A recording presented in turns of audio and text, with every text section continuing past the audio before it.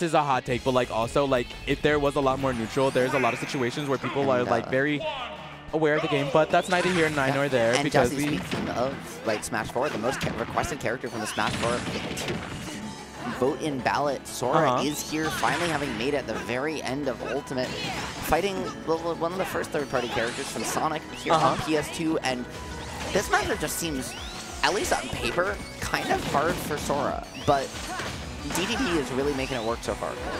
You're honestly literally so right. And this is like really fun because Kamex hasn't been here too often in a while. I would know I also haven't been here in a while, but that's not the point. Um, but I really feel like we can definitely see a bit of an even game still on the end of Kamex and DTP. But this is looking, honestly, like I was saying, pretty even. Yep.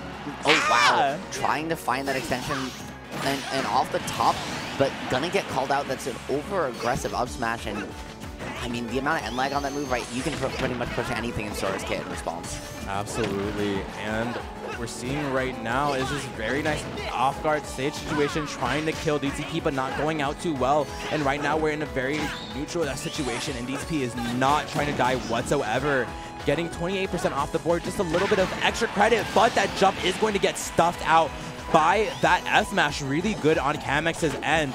And this is, wow. And especially with charge finish, like that move is so scary because it just it comes out so fast, it has such little lag. Like Sonic's F smash just does so much, and it can be angled as well. Great root, root to cancel out of that spin dash there to find his way back to stage, but not having an answer just for the disjoints from from DTP so far are.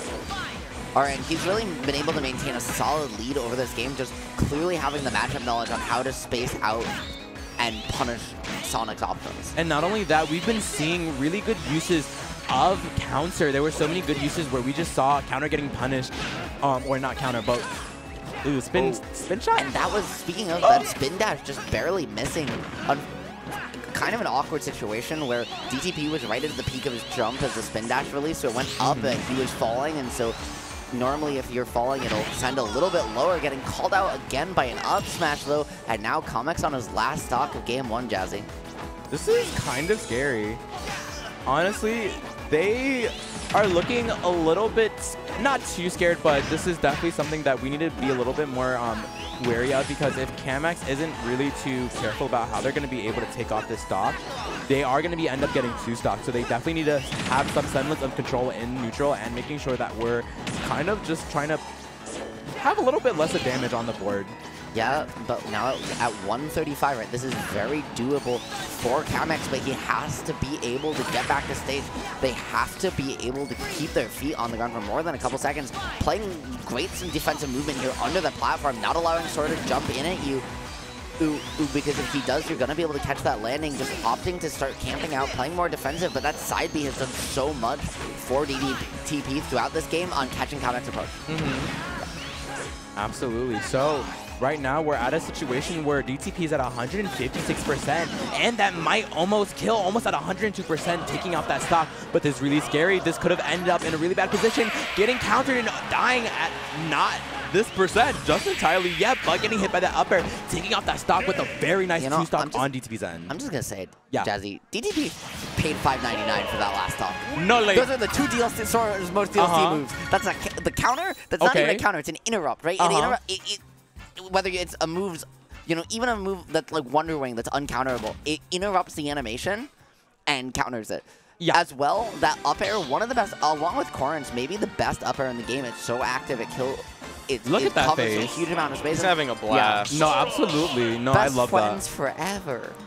that. F is for friends who do stuff together. S is for Sora, yay. Yay! Yay. And speaking of yay, we're getting right into game two. No changes here. We're right back to the same stage, same bad time, same bad channel, and DTP already looking for an edge guard, but Kamex's not going to let, him- have it. Absolutely. And this is something that I feel like we need to be a little bit more careful of. I feel like Kamex needs to be a little bit more conscious of how he's actually getting back onto stage. There was a lot of situations where Kamex was just getting hit by counter, and that just means that you're doing the same things over again. I understand that this is a character that like is prioritizing, you know, um, spin dash, but is not going to help much when you're getting stuffed out and your main goal is to get back to center stage. And we're seeing a lot more reliance on spin dash early from Kamex here. It was working out for a while, but DTP gets one adjustment and all of a sudden Kamex goes right back to it without warning. He's just been kind of camping, charging spin dash, going in, crossing up, and DTP either has to commit to the counter or or kind of get hit. And if he does commit to the counter, then Kamex is just going to mix him up in the next time. Absolutely. And honestly, this is definitely really good on Kamex's end, getting that hit at 156%. And yep. this is maybe we're starting to see a little bit more of adaptation right now on Kamex's end. But we cannot count out DTP because DTP is... DTP got something.